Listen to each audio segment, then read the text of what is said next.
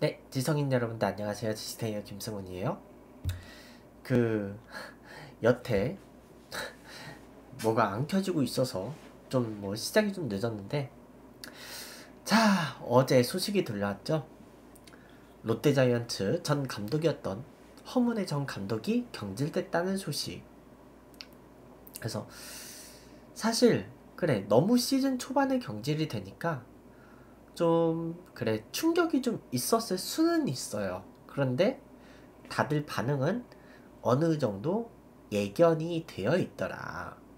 그래서 어 일단은 뭐 좀 역대 롯데 자이언츠 감독의 뭐 잔혹사 그리고 역대 외국 국적인 정식 감독들에 대해서 한번 좀 정리를 해봤어요. 근데 PPT를 좀 준비를 하다 보니까 그 분량이 페이지가 조금 많아졌어요. 그래서 영상이 하나가 통으로 갈 수도 있고 아니면 두부가 나눠질 수도 있어요. 만약에 두부로 나누게 되면 그 두부로 나누게 되면 이제 1부는 롯데 자이언츠 감독 잔혹사 그리고 2부가 역대 외국 국적의 정식 감독들이 누가 있었는지 한번 좀 정리를 해보는 그런 시간을 갖도록 하겠어요. 그 로이스터 감독 이후로 그 10년 동안 감독이 6번 바뀌었더라. 10년 동안 감독이 6번 바뀐 이유가요. 그동안의 감독들이요. 계약 기간을 다 못 채우고 나갔거든. 감독이 너무 자주 바뀐 거죠. 음. 10년 동안 감독이 6명이었다는 거는 뭔가 정상이 아니라는 거예요. 어. 뭐 그랬단 얘기인데 그래서 그 자 일단은 한번 PPT를 들어가 보도록 할게, 할게, 할게요. 네 말이 닿고요. 그래서 이렇게 두 가지를 정리를 했는데요. 그 허문회 전 감독 경, 경질 네 그래서 준비가 돼 있어요. 자 유의사항 허문회 전 감독의 경질 소식을 접한 뒤에 급하게 PPT를 만들었고요. 나는 일단은 롯데자이언츠 팬은 아니에요. 그 우리 집안은 해태 타이거즈 시절부터 야구를 봤거든. 해태 타이거즈를 아는 집안이기 때문에 그 어쨌든 해태 타이거즈 시절에는 우리가 송파구에 살았기 때문에 잠실 직관을 되게 많이 갔었어요. 그 잠실에서 한국 시리즈 하던 시절. 응. 근데 이제 지금 사는 지역으로 이사 오고 나서는 잠실까지 직관 가기는 좀 그 힘들었고 그 오리궁둥이 그쵸 그그 아기 호랑이의 그 완투승을 기억을 하는 사람이거든 내가 음 어쨌든 그 다음에 그 다음에 이제 지금 사는 지역으로 이사 오고 나서는 그동안은 잠실이 좀 멀어서 못 가다가 고척 스카이돔 생기고 나서는 이제 혼자서 직관을 가기는 해요. 고척 스카이돔 시범 경기를 매년 한 번씩은 직관을 가요 나는. 응. 시범 경기는 평일에 공짜로 있잖아. 응. 아 잠실 갔다 왔었어요. 음. 어쨌든 그 일단 롯데자이언츠 팬은 아니고요. 자, 그래서 이제 롯데자이언츠 역대 감독부터 한번 좀 이야기를 한번 해보도록 할게요. 자, KBO 리그 초창기부터 롯데자이언츠는 있었기 때문에 1982년부터 있었죠. 그래서 그 초대 감독이 박영길 감독이 있었는데 1983년 네 전반기에 잘려요. 그래서 이제 감독 대행으로 강병철 코치였던 인물이 대행으로 후반기를 지휘를 했고 그 다음에 두 번째 감독 강, 강병철 감독이 첫 해에는 좀 약간 빌드업 좀 하고 두 번째 시즌에 1984년에 한국 시리즈 우승을 하죠. 이때의 한국 시리즈 같은 경우는 네 알죠? 전반기 우승팀하고 후반기 우승팀이 한국 시리즈를 치르는 시리즈였기 때문에 그 그렇게 해서 우승을 했다고 그래요. 1985년은 삼성 라이온즈가 전반기 후반기 다 먹어버려 가지고 한국 시리즈가 없었고 그 이후로 이제 한국 시리즈 제도가 바뀌죠. 음. 그래서 강병철 전 감독이 한 번 우승을 하고 1986년까지 11월 30일까지니까 기간 딱 채우고 물러난 거지. 음. 자, 그 다음. 그 다음에 이제 성기영 전 감독 한 시즌 했고 그 다음에 어후홍 전 감독 두 시즌 했어요. 음. 자, 그 다음 김진영 전 감독. 네. 1990년 8월에 감독에서 잘려서 이제 도이창 대행 체제로 시즌을 마치죠. 그 도이창 대행 같은 경우도 제일 교포라 그래요. 일본 이름은 도이 쇼스케, 국적이 일본이고 그 우리나라 KBO 리그 초창기에는요. 그 이제 제일교포 선수들도 받았어요. 그러니까 일본 국적이더라도 제일교포면 한국인 선수로 인정을 해주는 거야. 그래서 들어온 인물들이 꽤 많았고 도이창 감독 대행도 그 인물 중 하나였고 또 대표적으로 인물이 한 명 있죠.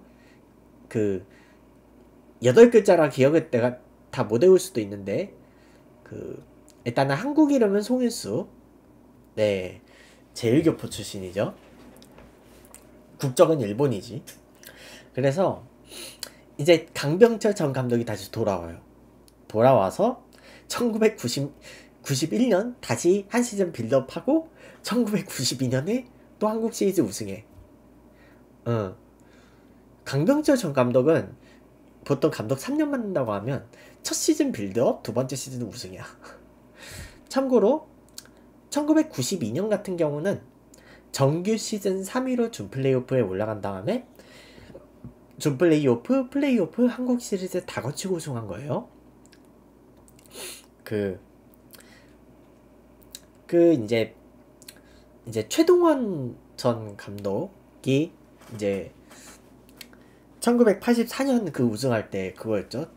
그 동화나 웃자는 여기까지 왔는데 막 한번 해보이겠습니다. 그게 바로 이 시기에 이 시기에 있었죠. 그 퍼펙트 게임 있고 그 선동열 전 감독하고 그 연장 15회까지 자 어쨌든 그래서 강병철 전 감독 때 또 한 번 우승을 해.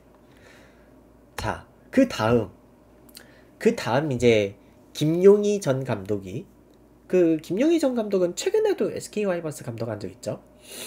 음. 힐만 힐만 코치 전에. 음. 그래서 1993년부터 이제 1994 시즌부터 1998년 전반기에까지 그래서 김용희 전 감독, 자 강병철 전 감독 이후 처음으로 포스트 시즌에 나가요. 음, 그 정도로 성적을 좀 올렸는데 1998년에 이제 중간에 경질이 되죠. 근데 내가 보기에는요, 이 시기에도 아무래도 대기업들도 IMF 여파를 피해가지 못했던 시기죠. 1998년이면. 그렇다고 보고요. 그나마 롯데는 과자 유통업계 이런 거다 보니까 그나마 좀 피해가 덜했던 거야. 물론 이제 혜태 제과 같은 경우는 유통업계인데 부도가 났죠. 너무 벌릴 거 많이 벌리다가. 음. 그때 혜태가 막 콜라도 만들고 막 사이다도 만들고 막 그러다가 너무 많이 벌렸, 벌렸다가 IMF 맞았죠. 음. 어쨌든. 그 다음에 이제 김명성 정 감독. 좀 안타까운 인물이죠. 그 롯데자이언츠 포스트 시즌 두 번이나 올려놓고 1999년에는 한국 시리즈까지 가요. 2000년에도 그 플레이오프 가고 그때는 이제 양대 리그 체제여가지고 각 리그의 1등하고 2등 그 서로 다른 리그 그러니까 예를 들자면 뭐 드림리그 1등하랑 매직리그 2등, 매직리그 1등하고 드림리그 2등이 플레이오프를 치렀죠. 그 다음에 거기서 이긴 팀끼리 한국 시리즈를 했죠. 그래서 이제 그 1997년 그 그때 펠릭스 옷에 막 7차전 때 막 그 난동 부리고 막 그랬던 그 경기 있잖아요. 그래서 그때 한국 시리즈까지 가는데 알죠? 1999년 한화이글스의 유일한 우승 시즌. 음. 그랬는데 어쨌든 2000년에도 그 어쨌든 이제 김명성 전 감독이 나름의 성과는 있었어요. 근데 이제 안타까운 면도 있어요. 여기에는 칸이 모자라서 못 썼는데 임수혁 선수가 2000년에 쓰러졌죠. 2루까지 갔다가 쓰러진 다음에 홈을 밟지 못했죠. 그리고 이제 몇 년 동안 병원에서 투병을 하다가 이제 떠났는데 그 임수혁 선수가 이식이에요. 음. 그리고 어쨌든 포스트 시즌 두 번 가고 한국 시리즈 준우승도 했는데 2001년 7월 24일 이날 경기가 없었다 그래요. 경기가 없어서 이제 오랜만에 뭐 좀 아는 사람 만난다고 이제 좀 걔도 멘탈 낚시터가 되게 멘탈 수양하는 그런 곳이었나 봐. 어쨌든 낚시터 갔는데 낚시하고 오다가 심장마비로 돌연 네 떠났어요. KBO 리그 감독들 중에 유일하게 재임 중간에 이 세상을 떠난 감독으로 여태까지 기록이 돼 있어요. 아무래도 이제 작년에 염경엽 전 감독이 결국 그 건강 문제로 병원 실려갔었고 그 결국 건강 문제로 감독 그만뒀었잖아요. 그러니까 염경엽 전 감독은 안 그래도 이제 체격도 되게 마르게 세, 그 마른 분이 되게 약간 그 예전에 제갈량이 역사적으로 그 체격도 좀 마른 편이었고 새벽같이 일어나서 늦게까지 자고 일도 많이 하고 식사도 적게 하고 그랬다가 50대 제갈량이 죽었잖아요. 그랬던 약간 그런 거 그러니까 염경엽 전 감독도 그랬다 그래요. 식사도 많이 안 하고 약간 그때 이제 팀 성적 때문에 스트레스 받아가지고 결국 이제 건강 안 좋아서 이제 결국 병원 치료 받다가 남은 임기 다 못하고 감독 그만뒀었잖아. 좀 감독들이 그 스트레스 때문에 건강이 안 좋아지는 게 되게 안타까운 사례죠. 음, 그 김인식 전 감독도 그 하나이글 쓸때 건강 한번 안 좋아진 적 있었죠. 음. 어쨌든 그래서 이제 그 재임 중에 심장마비로 돌아가셨는데 그래서 그때 이제 롯데자이언츠가 그 이제 애도 기간에 경기 좀 수년을 해, 시켜달라 했는데 그거는 안 됐다 그래요 안타깝지만 지금은 그 아 쌍방울 레이더스 수석 코치 했던 분 그래서 2001년의 후반기는 우용득 대행으로 시즌 마쳤죠 음. 그래서 그 이후로는 이제 감독들이 건강 문제로 뭐 그렇게 크게 잘못되고 그런 적은 다행히 없, 없는데 이제 백인천 전 감독이 이제 중간에 건강 문제로 삼성 라이온즈 감독을 그만뒀던 적이 있죠. 그리고 이제 작년에 염경혁 전 감독이 계약 1년 남았는데 결국 그만뒀었지. 음. 그렇고 그래서 우용득 전 감독 우용득 전 감독 같은 경우는 그 유명한 롯데의 8888-577을 최초로 스타트 끊은 인물. 왜8888-577 스타트를 끊었냐 하면은요. 그 원래 2001년에 감독 대행을 시작했잖아. 우용득 감독이. 그런데 사실 2001년에 8등한 거는요. 사실 김명성 전 감독이 죽었을 시점에 8등이긴 했지만 그 8등은 그 다른 8등하고 좀 달랐어요. 2001년에는요. 4등하고 8등이 승차가 한 두 경기 정도밖에 안 났대요. 그러니까 2001년이 되게 특이한 시즌이었던 게 시즌이 끝날 때까지 4위하고 8위하고 승차가 진짜 요만큼밖에 안 나고 끝났대요. 진짜 그냥 촘촘히 막 몰려 있었던 거야. 물론 이제 그때 두산 베어스가 3등에서 준 플레이오프부터 시작해서 한국 시리까지 업셋을 했지만 음. 하여간 그런 시즌이었어 2001년은 되게 막 진짜 1등부터 8등까지가 그냥 아주 그냥 그 우당탕 했던 그런 시즌이죠 음. 그랬고 그래서 사실 2001년에 김명성 전 감독이 그 갑자기 이제 심장마비로 떠난 이후 사실 롯데는 어떻게 보면 추진 동력을 잃은 거지. 그래서 2001년에 8위는 솔직히 이 뭐라고 할 수는 없기는 해요. 어. 이때는 솔직히 뭐라 잘못 뭐 잘못했다 뭐라 뭐 팀 운영 잘못해서 꼴찌한 거다 이런 거 뭐라고 할 만한 없잖아. 이거는 갑자기 감독이 돌연 사망한 거라 이제 팀도 어떻게 할 길은 없었던 거잖아. 그쵸? 그렇다 치고 그럼 이제 2002년부터는 그래서 결국 2002년 시즌 중반에 우영득 전 감독이 네 결국 또 8등 해가지고 잘렸어요. 그래서 우영득 전 감독을 그 8888 577 중에 앞에 두 번의 팔이 이 사람하고 연관이 돼 있는 거야. 음. 그래서 김용희 대행으로 잠깐 두 경기를 치르고 바로 정식 감독으로 영입된 인물이 이제 백인천 전 감독인데 문제는 백인천 전 감독도 2002년에 8등으로 끝났고 그 다음에 2003년 시즌 또 8등인 상황에서 잘려요. 그리고 이제 김용철 전 감독이 시즌을 마치고 자, 그 다음에 이제 2004년 시즌 이제 양상문 전 감독이 오죠. 그래서 두 시즌을 맞는데 2004년에 똑같이 8등하고 8888 그래도 양상문 전 감독은 8888을 끊어요 한번. 5등 했어. 꼴찌 탈출을 드디어 성공을 했어요. 5등을 했는데. 근데 롯데 입장에서는 꼴찌 탈출한 거 정도로 성이 안 찬 거지 그래서 양상문 전 감독은 재계약 못했어요 그 다음으로 강병철 전 감독이 또 와요 그래서 두 시즌을 맞는데 이때 롯데는 강병철 전 감독도 어찌할 수 없었던 상황이었던 거야. 8888-577 중에 77을 네 강병철 전 감독이 네 이어간 거지. 그러니까 그거지. 아무리 김응용 전 감독이라고 해도 하나를 어떻게 못했잖아. 혜태나 삼성은 우승을 시켰지만 안 그래요? 그런 거랑 똑같은 거야. 음.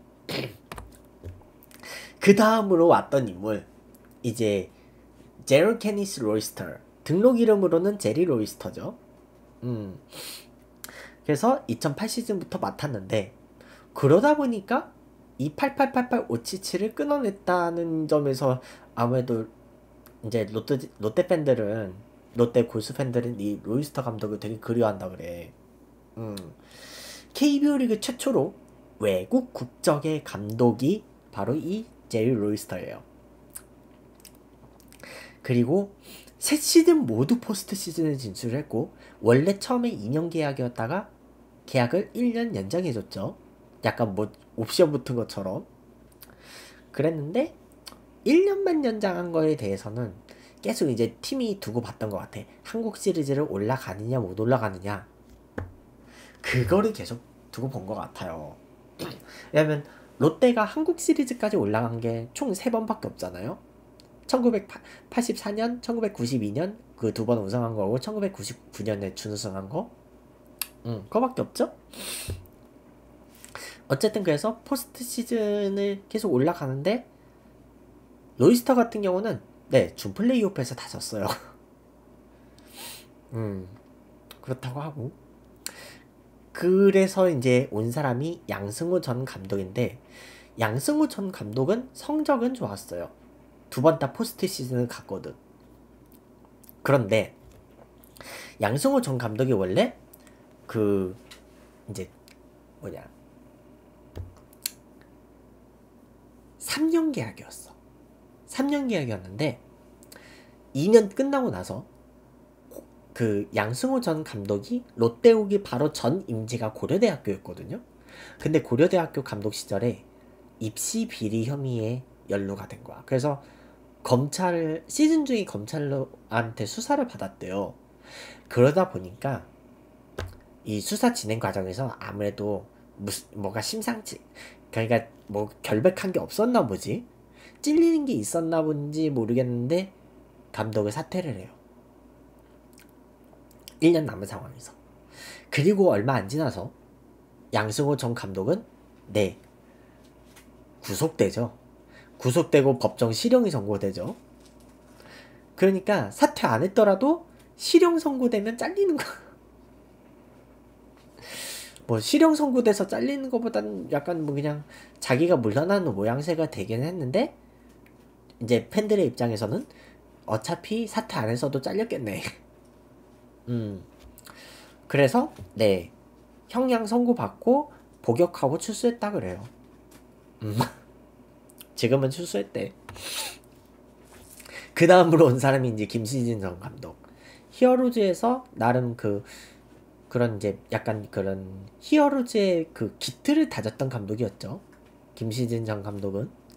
그래서 히어로즈에서 어느 정도 기틀을 다져놓은 것 자체는 괜찮았는데 문제는 히어로즈가 아니고 롯데였거든. 음. 그래서 그 잔여 계약 1년 남은 상태에서 사퇴를 했는데 문제는 이게 김시진 전 감독이 사퇴할 때는요. 그 롯데가 여러 가지로 좀 사건이 안 좋았지. 막 CCTV로 뭐 사찰을 했다느니 어쨌다느니 그때 그런 얘기도 있었죠. 그 손아섭 선수가 그 부모님 그 임종을 앞두고 경기를 일찍 빠지지 못해서 그 뭐 경기 그날 뛰고 진짜 돌아가시기 몇 분 전에 그 만났다고. 그래서 말이 많았죠.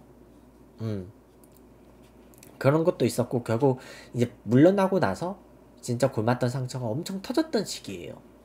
사실 이때 나도 뭐 기사를 썼었는데 기사가 기사를 썼었는데 좀좀 약간 좀 안 뭔가 좀 안 좋은 악플들이 많이 달렸었어 그날. 음 그렇다고 하고요. 그리고 이제 그 다음 이제 16대 감독으로 온 사람이 이종운 전 감독인데 한 시즌 만에 잘리죠. 네. 프런트 프런트가 뽑아준 감독인데도 한 시즌 만에 잘렸어. 자, 그 다음으로 온 사람이 이제 조원우 전 감독. 원래 2년 계약이었고, 그, 뭐냐, 포스트 시즌, 두 번째 시즌에 포스트 시즌 올려놓은 성과를 내가지고, 그, 뭐냐, 심지어 플레이오프 직행이었죠. 이때 2010, 2010, 2017년 플레이오프 직행의 성과를 내가지고 그 재계약을 성공을 하기는 해요. 근데 그 다음에 폭망해서 1년 만에 잘려요. 그래서 재계약은 성공했지만 결국 계약 기간은 또 못 채웠다. 로이스터 전 감독 이후 계속 저주가 걸려 있죠. 그 다음으로 이제 양상문 전 감독이 또 와요. 이제 LG에서 감독이랑 단장으로 성과를 내놓고 오지. 음. 감독이랑 단장으로 성과 내놓고 돌아오는데, 음. 근데 문제는 전반기 성적이에요, 이게. 전반기 끝나고 잘려요. 이게 5월까지는 기아 타이거즈가 꼴찌였어요. 2019년에. 그래서 결국 김기태 전 감독이 그 중간에 물러났잖아요. 그 그러니까 내가 보기에는 팀이 자른 건 아닌 것 같아. 김기태 전 감독은 아무래도 이제 우승 업적이 있기 때문에 그 뭐냐. 근데 양상문 전 감독은 LG에서는 잘리진 않았잖아. 음. 단장으로 올라갔지. 어쨌든 이제 그랬는데 이제 뭐냐 그거 됐죠. 그 뭐냐 김기태 전 감독이 이제 약간 물러나는 식으로 이게 나갔는데 그때 이제 그래도 물러나는 날까지는 경기 지휘했죠. 음. 그래서 그때 이후 이제 기아 타이거즈는 이제 박흥식 퓨처, 퓨처스 감독이 임시로 대행을 맡아요. 그리고 이제 그 시즌 끝나고 다시 퓨처스로 돌아가서 어쨌든 박흥식 퓨처스 감독 체제에서 그 뭐냐 기아가 그래도 꼴찌는 탈출했다? 나름 지휘 잘 해가지고 꼴찌는 탈출했는데 그러니까 롯데가 꼴찌가 된 거야. 그래서 양상문 전 감독이 전반기 만에 잘려요. 그리고 이제 공필성 대행으로 결국 꼴찌로 끝나죠. 음. 그 다음으로 그 다음 이제 허문의 전 감독이 왔는데 어 문제는 그래 꼴찌는 탈출했어. 근데 문제는 2020년에 꼴찌 하나이글스였죠. 꼴찌 하나이글스였고 네. 그 다음에 그 하나 하나 꼴찌한 거 빼고는 솔직히 그 나머지 팀들과의 경쟁에서 밀렸죠. 특히 이제 결국 시즌 막판에 그 9등 SK와 이번스였고 그 두 팀 빼고 8등이었지. 어, 8등이었나 롯데가? 음. 그때 이제 기아 타이거즈가 그 애런 브룩스가 이제 가족 사고 나가지고 일찍 떠나면서 결국 5위로 못 올라가고 6위 된 거였잖아 기아가 몰라 브룩스가 풀타임 뛰었었으면 5위 했을 수도 있는데 어쨌든 막판에 추진 동력이 없어져가지고 사실 그래서 사실 브룩스가 풀타임 뛰었었으면 작년에 키움은 포스트 시즌 못 갔어요. 그러니까 키움이 2등 상태에서 손혁 전 감독 잘리고 나서 계속 쭈르륵 추락하다가 결국 와일드카드 결정전에서 깨진 거잖아. 음. 포스트 시즌 안 나가 그러니까 나간 게 이상한 그러니까 그 전에 쌓아놓은 성적 때문에 키움이 포스트 시즌에 나갔을 뿐이에요 작년에는. 사실 키움은 작년에 거의 망한 시즌이었는데 10월 한 달 동안 쭈르륵 추락했지. 음. 기아가 따라잡지를 못해서 그런 거지. 어쨌든 그랬는데 이제 허문의 전 감독은 그쵸 연패는 그냥 감기처럼 떨어져 나갈 것이다. 뭐 등등 여러 가지 망언들을 하면서 결국 그 근데 이제 1군 선수단하고는 걔도 소통은 괜찮았다 그래요. 왜냐면 1군 1군에 냅두고 자기가 쓰고 싶은 선수들만 계속 썼거든. 그러니까 1군 선수들하고는 사이가 좋을 수밖에 없지. 근데 문제는 1군에서 좀 컨디션 안 좋은 선수들 컨디션 조절차 좀 2군에서 경기 감각 좀 회복하거나 아니면 그냥 좀 1군 엔트리에서만 좀 빼서 며칠 쉬게 해주는 방법이 있잖아요. 근데 그런 거 안 해. 계속 그리고 2군에서 잘하는 선수들 좀 써보면서 좀 유기적으로 좀 돌려야 되는데 안 했죠. 그 그런 이유로 이따가 좀 자세히 얘기하겠지만 그래서 잘려요. 잘리고 그 다음에 이제 20대 감독 레리 제임스 서튼이 부임을 하는데 일단 어제는 졌어요. 부임 첫 경기는 졌어. SSG 랜더스하고 유통업계 라이벌전에서 졌어요. 유통업계 라이벌끼리 서로 연고지도 제일 멀어. 인천하고 부산이야. 음. 근데 일단은 래리 서튼은 이따가 다시 프로필을 얘기하겠지만 현대 유니콘스랑 기아 타이거즈에서 그 용병 선수로 뛴 적이 있어요. 외국인 선수 제도가 시행된 이후로 최초로 외국 국적 KBO 리그 선수 출신 선수까지 거친 출신 감독이 된 거야. 음. KBO 리그 선수 출신의 코치들은 많죠. 뭐 브랜든 나이트라든지 뭐 저기 브랜드 나이트라든지 뭐 앤서니 르라든지 KBO 리그에서 선수 거쳤던 외국인 코치들은 좀 몇 명 있죠. 음. 그리고 이제 행크 콩거도 국적은 미국이에요. 국적은 미국인데 그 부인의 친척들이 롯데에 있대요. 아니 부산에 있대요. 그래서 그래서 어떻게 보면 부산이 처갓집이란 거야. 콩거 코치는. 응. 어쨌든 근데 이제 외국 국적인 KBO 리그 선수 출신 감독 이제 생길 만도 했어요. 음. KBO 리그가 이제 외국인 선수들 이제 역사에 들어왔으니까. 근데 이제 원래는 2020 시즌부터 퓨처스 감독이 3년 계약이었다 그래요. 퓨처스 감독 3년 계약이었는데 이제 3년 중에 남은 시간을 1군 감독을 하게 된 거야. 그래서 계약은 내년까지예요. 음. 기존 계약에서 1군 감독으로만 바뀐 거야. 자, 이시야마 가즈히데 같은 경우는 이제 제1교포로 일본 국적이긴 한데 당시에는 외국인 선수라고 부르진 않았다 그래요. 제1교포들을. 음. 그냥 그 교포니까 그 걔도 우리나라 선수라고 본 거지. 하지만 네 이시야마 가즈이데는 그 일본인 감독.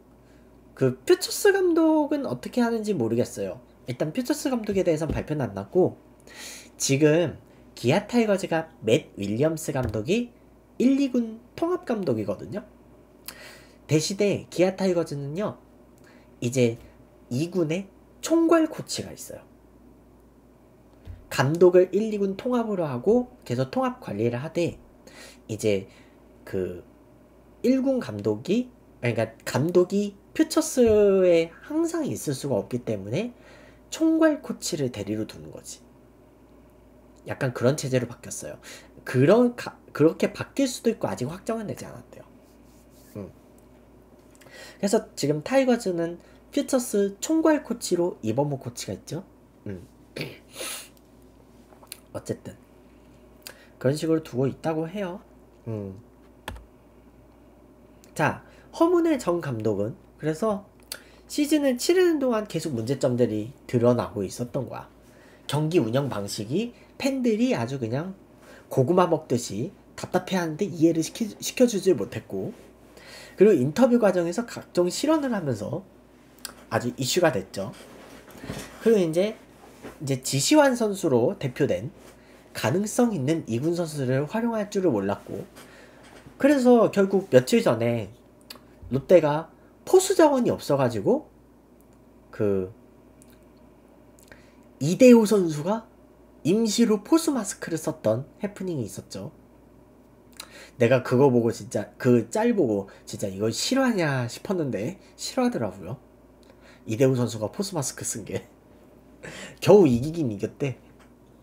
물론 이제 이종범 코치도 잠깐 포수를 봤던 적이 한 번은 있어요.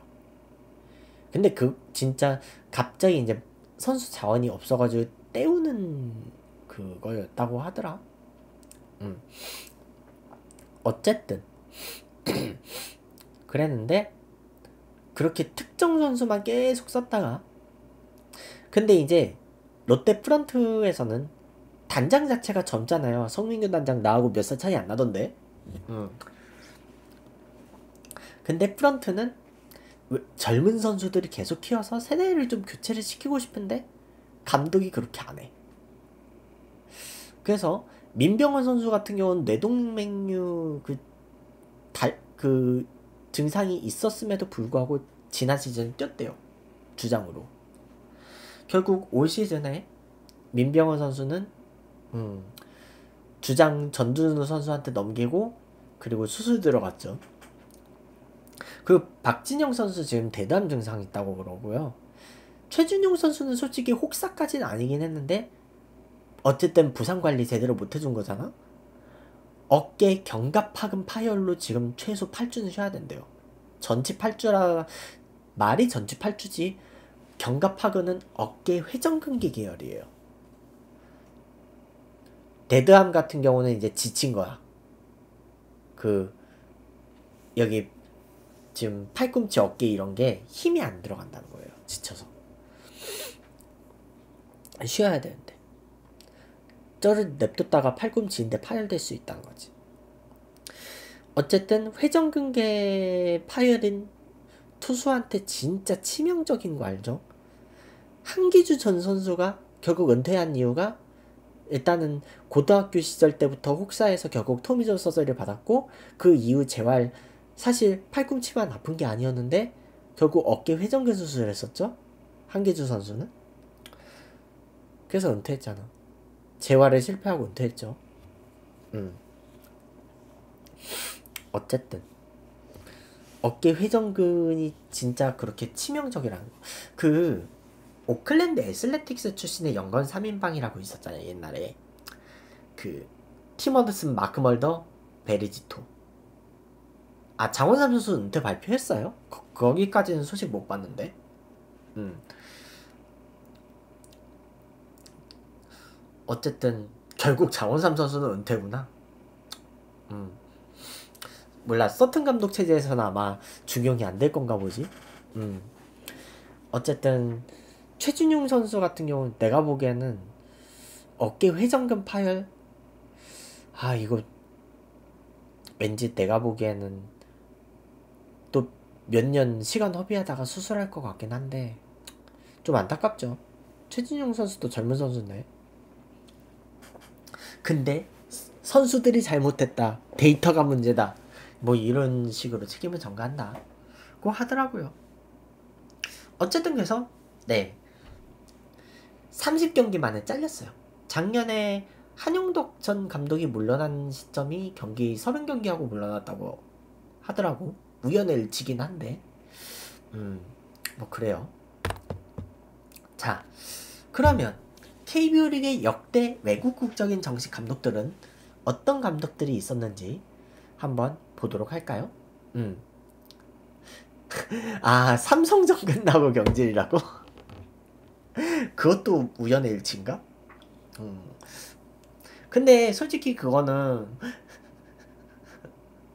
삼성이 요즘 그거잖아요. 투수들의 무덤을 쓰고 있잖아. 라파. 라팍존 있잖아요.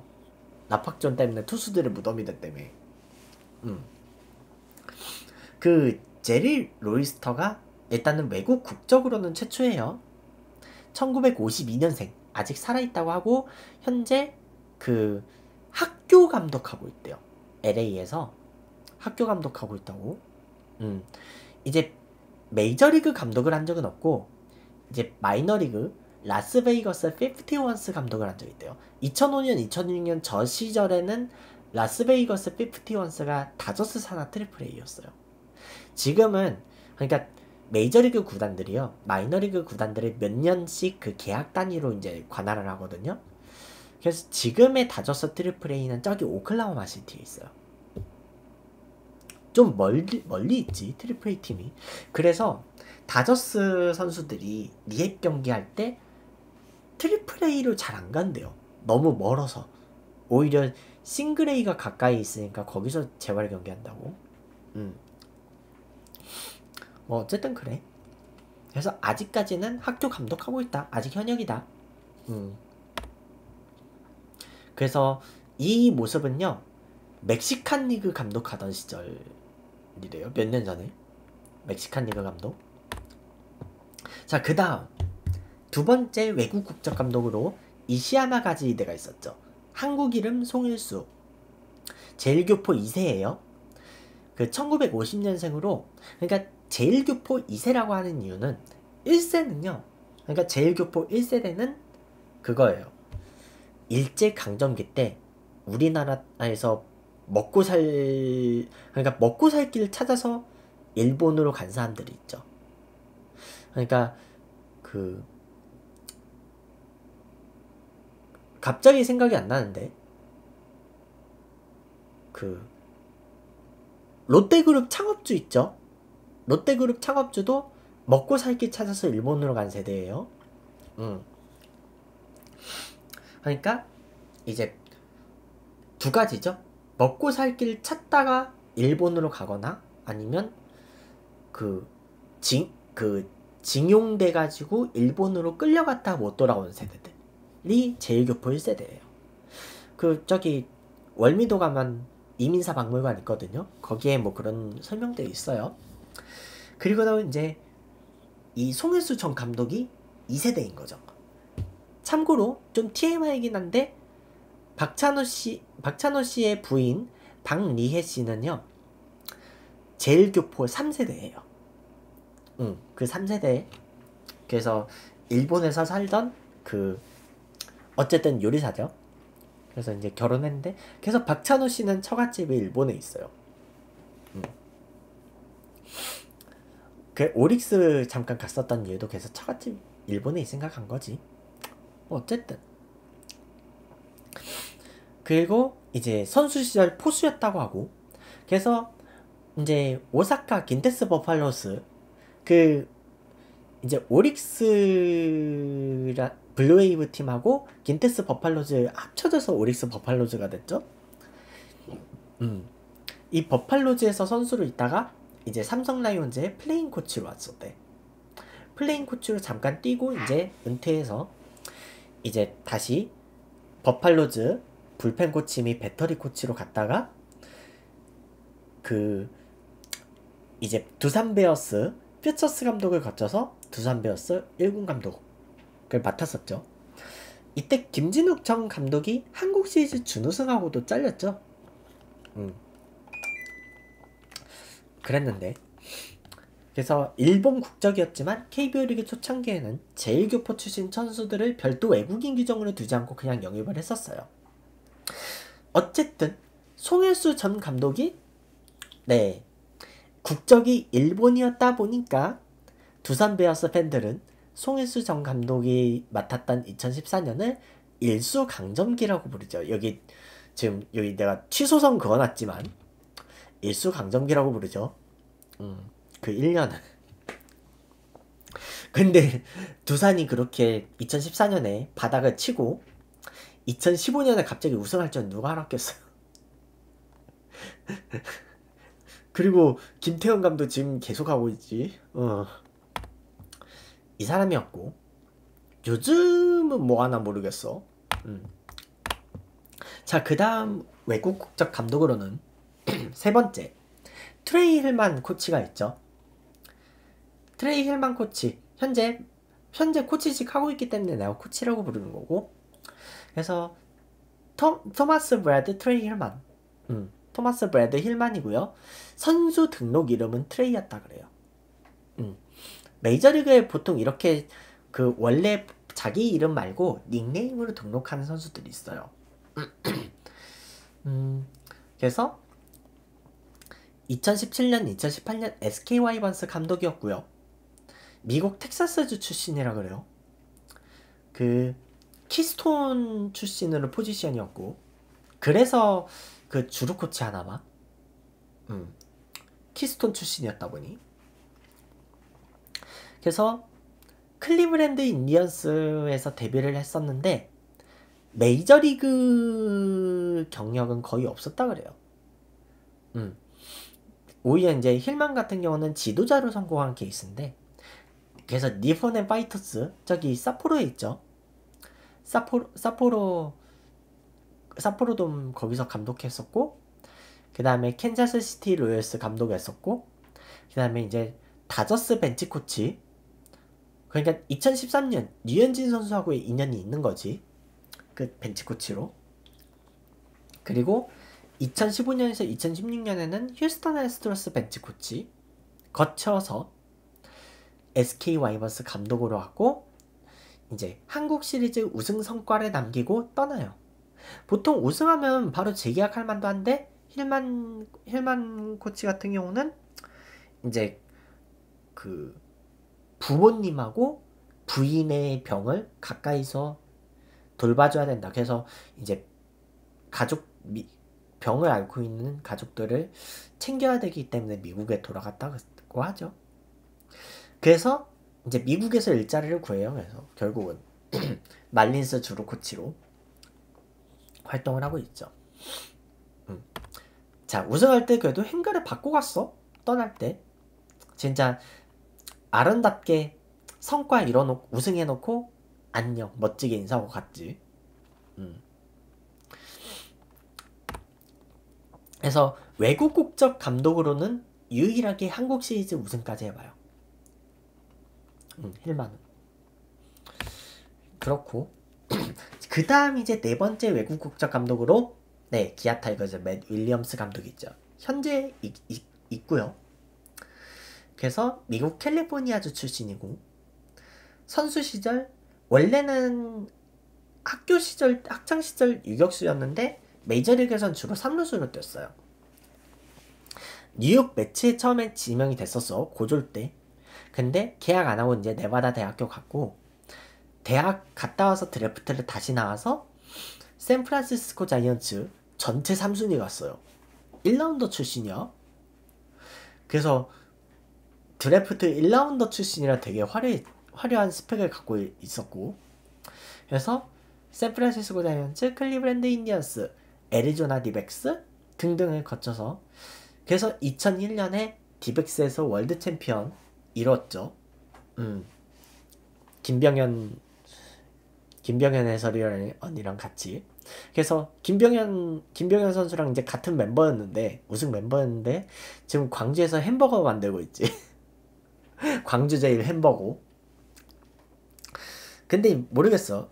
이제 김병현 해설이 가끔 개건을 해설한 적은 있는데 그 그래서 MBC가 가끔 이제 그 광주 그 현장 중계하러 갈 때 가끔 이제 개건 해설을 부른다고 하네요.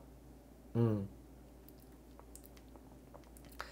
어쨌든 그래서 이제 몰라 실제로 좀 뭐 만나기도 했는데 이제 그 코로나 때문인지 모르겠는데 그래서 이제 그 햄버거를 기, 그 갖다 준 적은 아직은 없, 없나 봐.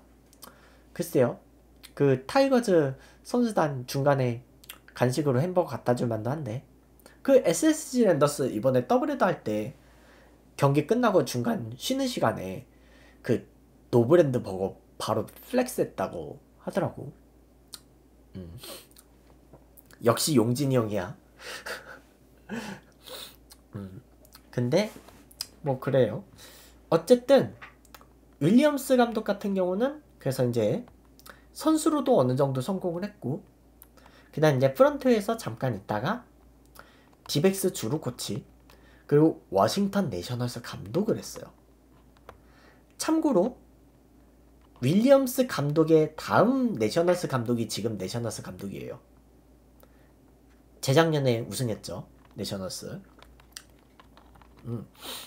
그리고 다시 디백스 주루 코치 했다가 애슬레틱스 주루 코치를 거쳐서 근데 이제 애슬레틱스에서 에런 브룩스랑 다니엘 맹덴 하고 인연이 있었지? 둘 다 지금 기아 와 있죠. 음. 브룩스랑 맹덴이랑 둘 다. 음. 네, 잘 던지고 있지. 그러고 이제 2020년부터 타이거즈 감독을 맡고 있죠. 작년에는 이제 그 박흥식 퓨처스 감독이 딱 있었는데 이제 퓨처스 감독이 이제 그 용퇴 지금은 이제 어디 감독직 정식으로 맡거나 그러진 않고 그냥 그 재능 기부 활동하고 있다고 하더라고. 음. 박흥식 전 감독은 그래서 어쨌든 지금은 1, 2군 통합 감독이고 2군에 총괄 코치가 있다 정도로 그래서 윌리엄스 감독 같은 경우는 네 타이거즈 유니폼 입고 음, 이렇게 포즈 취했는데 참고로 지금 모자로 가려져 있어서 그렇지 네 윌리엄스 감독은 네 탈모가 있다고 음.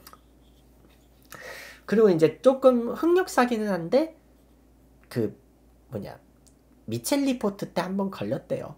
음. 그 다음에 이제 칼로스 수베로 이제 하나이글스 감독이죠. 베네수엘라 출신은 처음 왔지. 우리 외국인 감독들 송일수 전 감독 말고는 다 미국 출신 감독들이 왔는데 수베로는 네 베네수엘라 출신이에요. 베네수엘라. 음. 베네수엘라 출신이고 그래서 내야수 출신의 스위치 히터였다 그래. 그리고 이제 캔자스 시티 로열스 출신으로 이제 주로 선수는 주로 마이너리그에만 있었고요. 음. 그 다음에 이제 지도자 경력은 그 메이저리그 경력만 좀 보자면 미러키 브루어스 수비 및 주루 코치를 했었다고. 그 다음에 이제 그 베네수엘라 국가대표 감독으로 2019년에 프리미어 12에 출전했었어요. 그리고 2021년에 이글스 감독으로 왔고, 음, 그래도 지금은 아직까지는 뭐 큰 문제 없이 뭐잘 하고 있다고 하죠. 음, 근데 일단 이글스는 올해는 일단 리빌딩이니까 그렇다고 치고, 자, 그 다음에 이제 이번에 새로 롯데자이언츠 1군 감독으로 올라온 레리 서튼에 대해서 한번 알아보도록 할 거예요. 원래 이름은 이제 full name은 레리 제임스 서튼이고 1970년생. 음 잠깐만 70년생이면 어 수베로 감독보다 나이가 많은데? 음 수베로 감독보다 나이 많네요. 미국 캘리포니아주 출신이고 그리고 외야수였고 그래서 캔자스시티 로열스에서 메이저리그 지명을 받았었고, 음, 그 이제 세월이 좀 지나서 그런가 좀 어, 좀 흰머리가 많이 보이네요.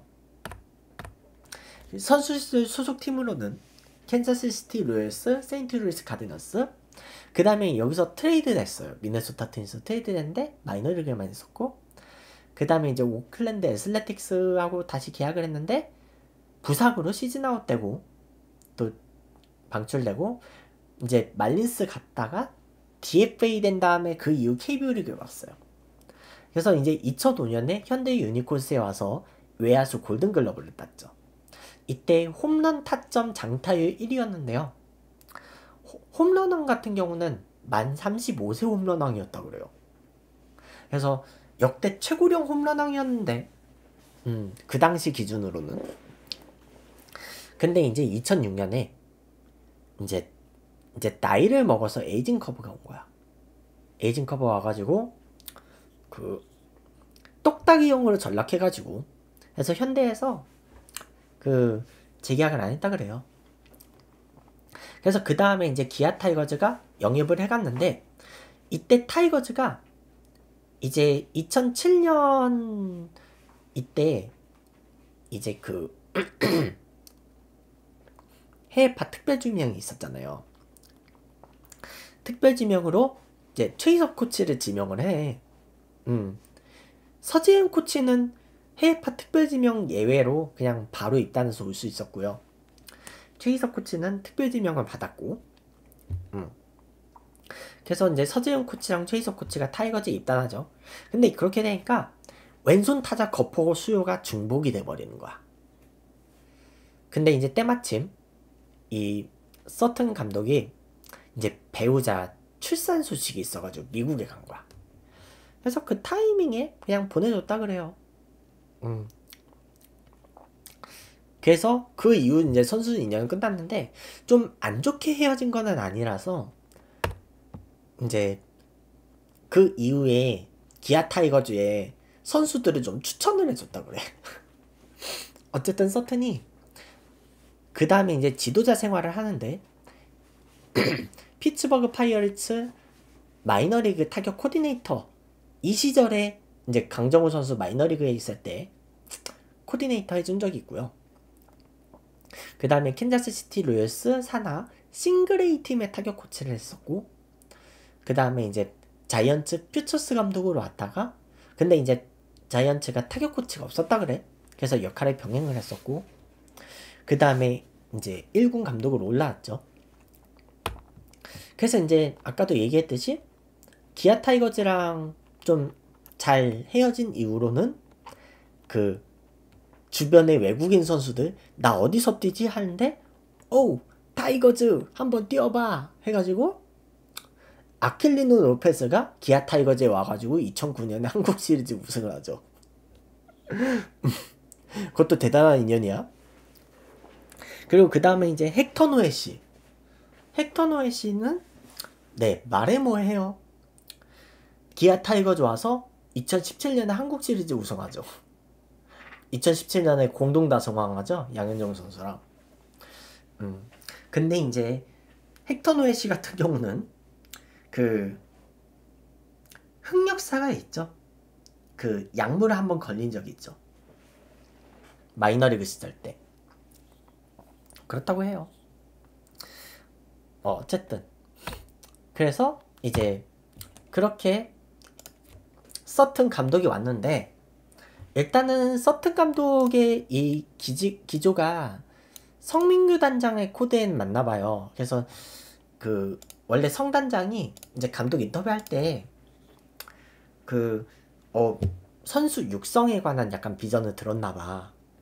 서튼 서튼 감독한테 그러다 보니까 이제 성 단장이 서튼 감독을 일단은 그 아무래도 주로 코치력만 있다 보니까 그 일단은 이제 퓨처스에서 한번 그럼 좋은 선수들 육성해 해보세요 해가지고 글로 보낸 거지. 근데 이제 뭐 그렇게 됐죠. 그래서 서튼 감독이 애초에 3년 계약이었던 이상 그래서 허문회 전 감독이 바로 이제 이탈하게 되면서 감독 대행으로 간 게 아니라 바로 서튼 감독을 올린 거지. 일단 어제는 졌어요. 음. 부임 첫 경기는 졌고요. 근데 이제 서튼 감독을 30경기 만에 올렸다는 거는 지금 롯데가 시즌을 포기한 건 아니라는 뜻이에요. 아직 30경기고 지금 승패 마진 31경기 뛰었고 승패 마진이 지금 내가 알기로 마이너스 7일 거예요. 음. 승패 마진이 마이너스 7인데 그 아직 포기하기는 이르다. 그래서 올해는 일단은 할 수 있는 데까지는 올라가 보려는 것 같아요. 몰라 일단은 서튼 감독이 온 이상 그 좀 약간 그런 개편 팀 로 엔트리가 좀 많이 개편이 될 것 같다고 하더라. 음 그래가지고요. 일단은 그 일단은 그래서 이제 최다 외국인 감독 외국인 감독이 벌써 세 팀이나 돼요 지금 그리고 이 그 다음에 이제 아 1점 차로 졌는데 마무리 투수 김원중 선수 일찍 투입했다가 공 7개 던지는 동안 사실점 했대요. 음. 근데 음. 너무 일찍 투입했네 마무리를. 음. 그래도 9회에 이대호 선수가 또 홈런 치긴 쳤네. 음. 프로야구 롯데가 아유. 그렇고. 음. 참고로 롯데는요. 7회까지 리드했을 때 현재까지 승리를 꼴찌래요. 음. 7할 6푼 9리. 그리고 음.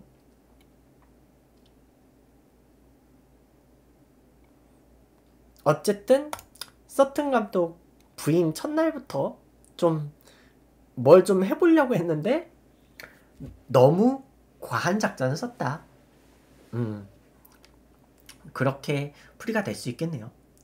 일단 현재까지는 12승 19패 마이너스 7인데 근데 문제는 그 승패 마진 마이너스 7이 네 1등하고 6게임 반차예요. 아직 10경기 이상 벌어진 것도 아니고 아직은 포기하기엔 좀 이르죠. 어쨌든 승률 4할이 깨지니까 지금 감독이 잘린 건데 물론 이제 서튼이 얼마나 할지는 모르긴 하겠는데 아직까지 그쵸 포기하기엔 좀 이르지.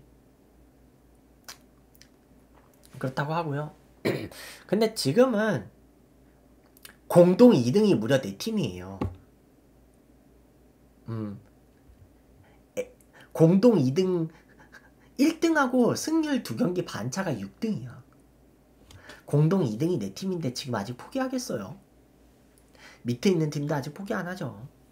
음. 근데 지금 페이스가 안 좋은 거는요.